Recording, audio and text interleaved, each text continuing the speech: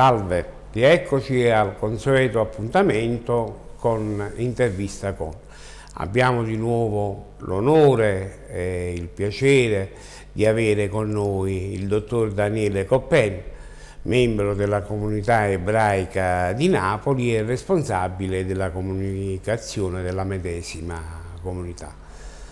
Dal primo plenilunio noi siamo in periodo di Pesach, la Pasqua ebraica, e vogliamo con questa intervista conoscere e capire quali sono tutti i riti della Pasqua ebraica che il eh, popolo di Israele festeggia per circa addirittura otto giorni, quindi una, una giornata in più della settimana santa dei cattolici. Prego, dottore Daniele Coppen. Buonasera, eh, grazie per eh, l'invito. Come dicevi, eh, il primo plenilunio eh, di primavera segna l'inizio di Pesach. Pesach, la Pasqua ebraica, che significa passaggio. Che passaggio? Passaggio, eh, secondo le scritture, del, eh, dell'angelo che ehm, eh, superò le case degli ebrei e, e quindi non colpì i primogeniti degli ebrei come invece fece con quelli degli egiziani. E passaggio anche, ma, eh, inteso metaforicamente, dalla schiavitù alla libertà. Pesach eh, dura eh, sette giorni, secondo la Bibbia, però eh, per eh, gli ebrei della diaspora eh, i maestri hanno stabilito che durasse otto giorni eh, per ricordare anche la condizione di diaspora. Eh, i, i, primi, ehm, I primi due giorni e gli ultimi due giorni sono di festa piena, quindi eh, sono giorni in cui noi viviamo, eh, non possiamo usare il telefono, non possiamo usare l'automobile, andiamo in sinagoga tutti a, a, pregare e mentre invece i giorni di mezzo sono i giorni di mezza festa, questo in diaspora. In Israele il primo e l'ultimo giorno sono di festa piena e i cinque giorni in mezzo sono di, di mezza festa. Mezza festa solitamente noi lavoriamo. Ora, al di là del, del discorso oh, strettamente eh, religioso, Ehm, quali io non essendo un rabbino non ho oh, diciamo così, titolo a, per parlare, eh, però ehm, il nostro incontro era eh, teso a far conoscere come un ebreo eh, vive questi otto giorni di Pesach. Allora, eh, Pesach, l'ebraismo è fatto di ehm, un, un sistema di di precetti, di leggi, le mitzvot, che sono 613. Ehm, senza dilungarmi in quelle che sono le eh, varie suddivisioni, diciamo che eh, le feste hanno delle, dei precetti specifici che noi dobbiamo osservare. E a Pesach il precetto, eh, i precetti sono quello di non mangiare, di non vedere e di non possedere eh, cibi lievitati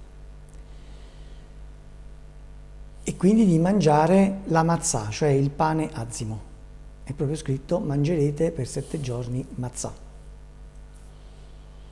Eh, il pane azimo che è il pane dell'afflizione, il pane, il pane eh, che ricorda appunto la fuga dall'Egitto che fu così rapida da non, far, eh, da non permettere di, eh, la lievitazione e che eh, poi è l'elemento essenziale anche del seder di Pesach. Che cos'è il seder di Pesach? La sera, la prima sera e, e in diaspora anche la seconda sera eh, di Pesach si celebra il seder, cioè l'ordine, si, si, si, una cena, una cena praticamente, che però deve seguire un suo rituale, una serie di passaggi, tra cui mangiare il pane azimo, mangiare l'erba amara, mangiare il caroset. Il caroset è, una, è un miscuglio di miele, frutta secca, che nella composizione ricorda eh, la, eh, la, malta eh, con cui venivano fatti, l'impasto con cui venivano fatti i mattoni degli ebrei nella schiavitù. E poi sì, ci sono canti, ci sta, si, si, legge un, un libro eh, ben preciso, la gara di Pesach, eh, il tutto per rivivere quell'atmosfera, perché è importante noi ebrei a Pesach non ricordiamo Pesach, noi riviviamo Pesach, cioè noi dobbiamo rivivere la sera in cui gli ebrei, eh, seguendo le indicazioni fornite dal Signore a Mosè, a Mosè eh, mangiarono eh, di fretta perché poi dovevano fuggire, dovevano lasciare l'Egitto, dovevano conquistare la libertà. Quindi Pesach è la festa della libertà per noi, è un concetto, un, eh, quindi una festa che ha un, un significato diverso da quello che ha per il mondo cristiano. È una festa della libertà, della libertà dalla schiavitù, dalla schiavitù egiziana. E quindi la, la cosa eh, che viene fatta poi ovviamente prima di Pesach per consentire appunto di non possedere cibi lievitati è pulire completamente la casa.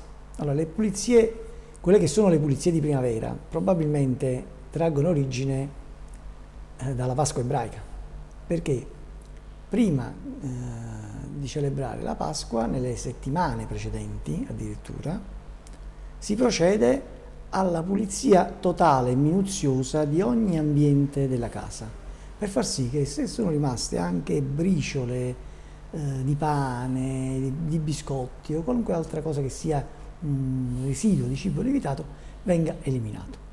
E quindi ci sono le donne ebree soprattutto che puliscono a volte anche a livelli maniacali eh, le case eh, in modo tale poi da avere la casa libera completamente dal lievito, dai lieviti, eh, negli otto giorni in cui celebriamo, ricordi, riviviamo l'uscita dall'Egitto. Bene. E dal punto di vista gastronomico esistono dei dolci? Allora sì, eh, vabbè, diciamo che la cucina ebraica eh, è una cucina molto eh, diversificata in, in funzione eh, delle, delle, località, perché gli ebrei essendo andati in tutto il mondo eh, hanno in qualche modo anche acquisito, hanno dato e acquisito eh, tradizioni locali, ovviamente adattandole alle regole della, dell'alimentazione ebraica che deve essere kasher. E per esempio a Roma un, un dolce tipico di Pesach sono le pizzarelle che sono fatte con le azime sbriciolate, impastate col miele, che che è un elemento ricorrente nell'ebraismo, il miele per la dolcezza. E miele, a volte poi ognuno ha le sue varianti e questa è una delle cose più, più tipiche. Poi ci sono altre, altre tradizioni che hanno mh, eh, culinarie, che hanno per esempio gli ebrei nordafricani, eh, che mh, questo però non riguarda i dolci, che eh, durante Pesach non mangiano neanche eh, eh, i ceci. Perché non mangiano i ceci? Perché gli ebrei tripolini, perché i ceci in ebraico eh, ehm, si, dicono, si, chiamano hummus, il famoso hummus in effetti e si scrive come Hamas, la parola Hamas, che significa male, malvagio, quindi eh, per tenere lontana la, la agila. E poi, ehm, eh, poi ci sono una serie di le, le donne ebree si sono sbizzarrite nella, nella, cucina, per esempio non si può mangiare, ovviamente mangiando, potendo mangiare cibi lievitati, non mangiamo pane e pasta, però si fanno le lasagne, e come si fanno le lasagne?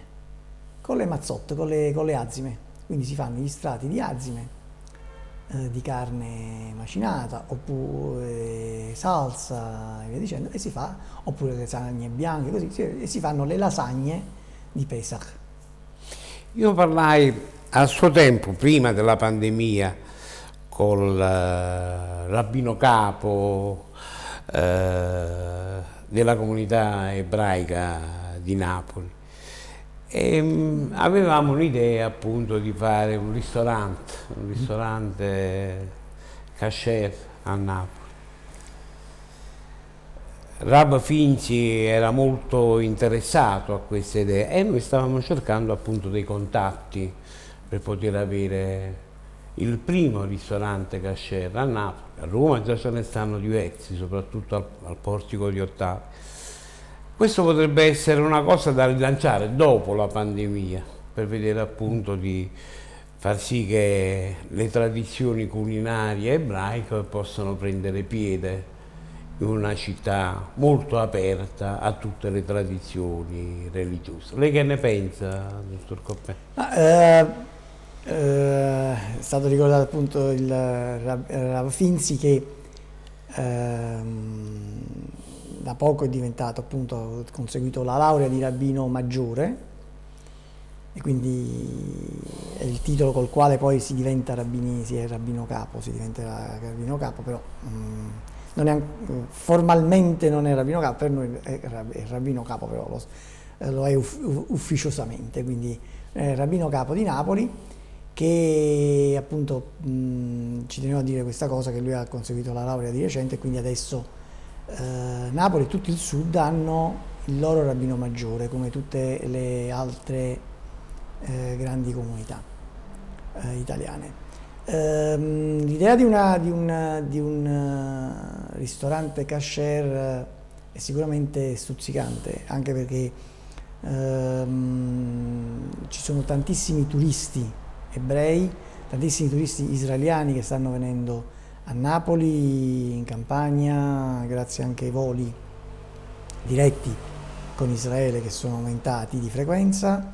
Ehm, e tra l'altro potrebbe essere anche una sfida perché eh, siccome gli ebrei eh, nel sud Italia, da Napoli, eh, sono stati assenti per tre secoli a causa dell'espulsione decretata dagli spagnoli, non c'è stata la possibilità di sviluppare una cucina ebraica locale, come invece è successo a Roma. A Roma ci sono una quantità di piatti tipici della cucina eh, giudaico-romanesca, tra i quali il famosissimo carciofo alla giudia, eh, ma anche il baccalà fritto, eh, gli aliciotti con l'indivia. Eh, quindi invece nel eh, nel sud eh, questo non, non c'è stato, eh, nel senso non c'è stata la possibilità di elaborare una cucina ebraica. Però diciamo che gli elementi essenziali della cucina mediterranea, che poi trova nel sud Italia soprattutto la sua massima espressione a livello italiano, eh, ben si eh, abbinano con quelli della cucina ebraica. Innanzitutto perché il grande eh, il massiccio uso del, delle, delle, delle, verdure, degli ortaggi, eh,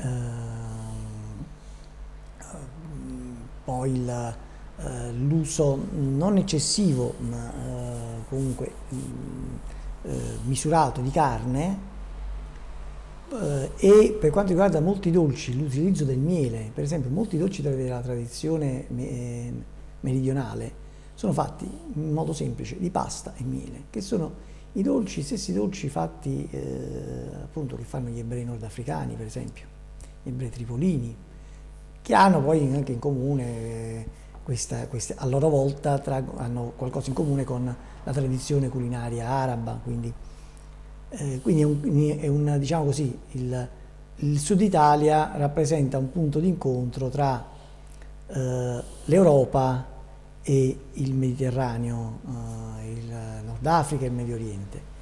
E potrebbe essere sicuramente un'idea. Noi come comunità ci limitiamo a, a, a, diciamo così, a fornire, a, ad ospitare gli stranieri quando vengono da noi e eh, per chi poi eh, vuole appunto essere nostro ospite lo ospitiamo anche qualche volta a cena, a pranzo, però invece mettere su una, una, un, un, locale eh, una, un ristorante di, eh, che cucina kasher, che cucina, che cucina, ebraico ovviamente, che poi sarebbe kasher, eh? potrebbe essere interessante. Chiaramente bisognerà trovare, bisogna trovare poi una serie di incontri eh, culinari, nel senso se io per esempio faccio la parmigiana di melenzane con la mozzarella kasher, non è un, è un piatto ebraico, no, è un piatto tradizionale solo fatto kasher. Invece sarebbe interessante sviluppare qualcosa che sia ebraico locale e questo è un lavoro che si può fare, è sicuramente interessante mm, e che può avere anche un ritorno dal punto di vista turistico, può essere un, un polo perché poi sappiamo benissimo, cioè alla fine quando si va, quando si viaggia, eh, che cosa si fa? Si visitano i musei, monumenti e si mangia, questo è il modo per conoscere un paese e una cultura. Bene, bene. Mi porga i miei saluti al Rav Ariel Finzi, anche per la sua nomina eh, rabbinica che ha avuto proprio in questi giorni. E approfondiremo l'idea, vedremo anche con la nostra emittente di promuovere questo ristorante cascero. Un'ultima una, cosa, una cosa che tenevo a sottolineare, invece molto importante, prima però ancora del ristorante cascero, è il discorso della produzione di prodotti cashier. Um, i prodotti agricoli, i prodotti zootecnici ormai stanno um, puntando molto su questo, le aziende, molte aziende stanno puntando molto sulla certificazione cashier perché consente l'esportazione in America, se lei va in America in qualunque supermercato statunitense, la metà dei prodotti presenti negli scaffali, anche in posti degli Stati Uniti dove gli ebrei non ci sono, sono prodotti col marchio Casher. E allora molte aziende, anche nel sud, si stanno attivando per ottenere la certificazione Casher. Che, che fa il rabbino? Che fa il rabbino? Che fa il rabbino? Uh, che fa, deve fare un rabbino uh, e che quindi uh, rappresenta una garanzia non solo per l'ebreo, ma rappresenta una garanzia per il consumatore perché la cascerutta ha delle regole che vanno dalla materia prima non lavorata fino al prodotto finale, che devono, regole che devono essere rispettate. Quindi c'è un discorso di filiera che consente al, al, consumatore di verificare la tracciabilità del prodotto, eh, che è una cosa molto, molto importante, anche dal punto di vista in questo momento che eh, c'è un, un, forte interesse per la eh, eh, per l'alimentazione sana, per i prodotti sani, perché poi le regole della Cascerut sono anche regole di, eh, che, mm, improntate al, al eh, in, mm, diciamo così, interferire il meno possibile con la natura, non danneggiarla, non, non toccarla, non, quindi il riposo, il riposo che, eh, delle colture ogni sette anni, ci sono tutta una serie di regole eh, chiaramente alcune regole vanno applicate solo nel, in terra di Israele, non qua. Però la cascerut, la certificazione cascere, è un qualcosa che apre anche eh, nuove opportunità a, a aziende eh, non ebree, quindi soprattutto a loro. Vedremo anche con queste emittenti, enti e istituzioni, Canale 695. Sappiamo che Pozzuoli è un grande centro gastronomico per la zona Fregrea e la zona Fregrea ha sempre avuto grande, un grande imprinting eh, ebraico, dai vari cognomi, dalle varie usanze e così via, che col tempo si sono in qualche modo affievolite, però cognomi come Salemme, come appunto Guardascione. Guardascione, sono tutti nomi fregrei, anche nomi di famiglia eh, illustri, Carannante. Carannante abbiamo diverse ascendenze ebraiche, vedremo di parlare con l'associazione dei ristoratori e vediamo in qualche modo di poter riuscire a fare il primo ristorante cashier della Campania e di tutto il sud Italia. Adesso veniamo all'ultima domanda. Al termine di Pasqua mh, mm, la comunità ebraica come festeggia la fine dei, di questi otto giorni di feste di Pesach?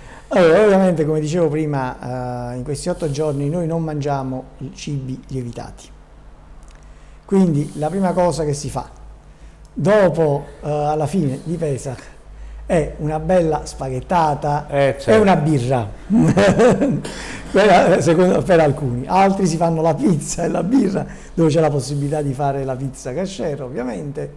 E poi ci sono tradizioni particolari. Per esempio eh, in Nord Africa soprattutto in Marocco e in Algeria c'è la, la mimuna la tradizione della mimuna che è una ehm, praticamente avvicinava poi gli ebrei ai musulmani, per cui le famiglie musulmane, eh, gli ebrei eh, si affidavano eh, a questa, mh, eh, con le famiglie musulmane eh, per, eh, per poter poi mangiare cibi, cibi lievitati, si viveva insieme, si, si consumavano insieme, si faceva insieme, c'era molta, molta socialità. Da questo punto, qua, da questo punto di vista e quindi si fa un, un dolce, un- cioè un non dolce, una- un- un- questo piatto là che, che, eh, riapre al lievito. Però attenzione, il lievito, io ho detto eh, questo fatto del lievito che può sembrare una- un sacrificio, ma in realtà ehm, ha un valore anche etico. Il lievito rappresenta qualcosa che pian piano macera, si, si ingrossa, si- quindi è un qualcosa di, quando noi non mangiamo il lievito, in qualche modo purifichiamo la nostra anima. Nel senso, tutto ciò che durante eh, il resto dell'anno si accumula, cresce, anche eh, il- i turbamenti, le cose, invece quello lievita. Invece noi lo eliminiamo per eh, purificare il più possibile l'anima. E questo eh, serve sicuramente per, ehm, per avere una- un rappo- un rapporto diverso col mondo esterno quando poi si esce da Pesach e si riprende a, a- si riprendono quelle, quelle azioni, quelle, quelle attività normali, quell'alimentazione, eh, però dobbiamo ricordandoci sempre quello che è stato, eh, quelli che sono stati questi otto giorni. Noi ringraziamo il nostro gentile ospite Daniele Coppegno, responsabile della comunicazione della comunità ebraica di Napoli. Siamo in una terra pregrea aperta a tutte le varie influenze. Abbiamo ricordato i cognomi, Guardascione, Guardasion, Salemme, eh, Shalom, eh, Carannante, tutti nomi di origine ebraica. Sarebbe molto bello ripristinare a Pozzuoli una tradizione di ristoratori casceri. È un nostro impegno, anche di questa emittente, di parlarne con i ristoratori e potrebbe essere un'ulteriore attrazione turistica. Andiamo verso Procida, capitale della cultura, anche Procida ha caratteristiche simili all'entroterra Fregreo e potrebbe essere un'occasione di turismo eh, ecumenico di natura internazionale. Ringraziamo di nuovo il dottore Daniele Coppelli e a risentirci al prossimo, incontri, al prossimo incontro. Diversi altri incontri ne faremo ancora. Arrivederci.